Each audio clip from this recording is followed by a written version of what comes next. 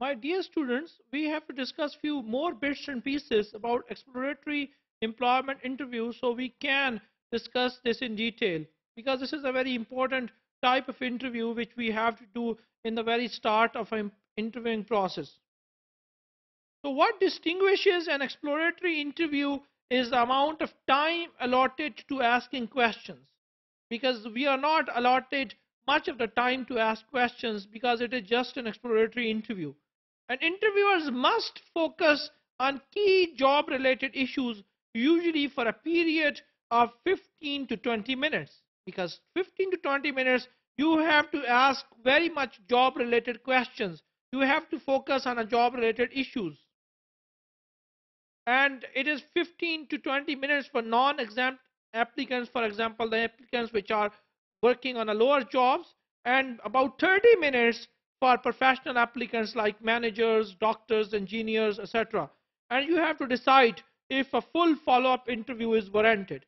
Because you have to decide after the exploratory employment interview that you need an in-depth interview after it or not. And if it is not required then you can simply refuse the applicants in a very initial process. Under these conditions, interviewers often feel very much pressured into making a decision based on what they perceive to be limited information. Sometimes in exploratory interviewing, they the interviewer have very limited information and it is very hard for our interviewer to make decisions just based on that limited and basic information and they cannot make decision that we need to call that person for the further interviewing or not need to call for a further interviewing. Consequently, it can be tempting to dismiss a person for giving an inappropriate answer or even because of the way the dress he dresses or shakes your hand. So based on a very basic, a very inappropriate things, you can just dismiss the person and you would not ask him for the further interviewing. So you need to be very careful what kind of question you need to ask during employment, uh, during exploratory employment interviewing. Using such non-job related reasons as the basis of rejection, even at this early stage in the interview process, can be counterproductive for a number of reasons. If you are just refusing someone based on such kind of a non-job related reason, it is very counterproductive and it is it is not good for the organization it is not good for the better employment branding image of the company.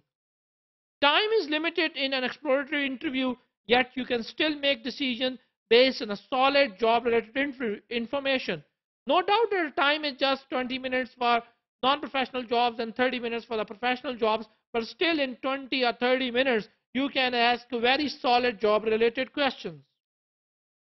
The process of deciding who passes an exploratory interview begins with all the important job description. The only thing which can decide whether the applicant is pass or fail that is about the JD, job description, the major duties and responsibilities the person need to do in the organization. If your question would be more related to the job description, if it would be more related to the job specification, obviously the validity of the employment interview would be more. It would be more effective. It would, it would be more efficient.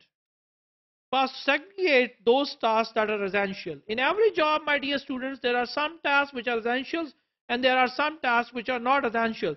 So you have to segregate the essential and non-essential tasks in your job description. After segregation, many companies write their job description so that each duty is coded as being essential or non-essential. Just assume that one job have 10 major tasks and responsibilities and you can put E means essential in front of essential job task and you can put non-E in front of some non-essential job task. So this coding is very important and it can help you to ask very specific questions during exploratory employment interviewing. Additionally, they note an approximate percentage of the time devoted to each task. Those tasks which are very essential in terms of the percentage you have to allocate more time to ask questions about that particular task. And those tasks which are not much essential, you can ignore them even in the exploratory employment interviewing. If there are none or just a few tasks that require 20% or more of the incumbent's time, adjust the percentage downward so that you have somewhere between four and eight essential tasks which are isolated from non-essential tasks.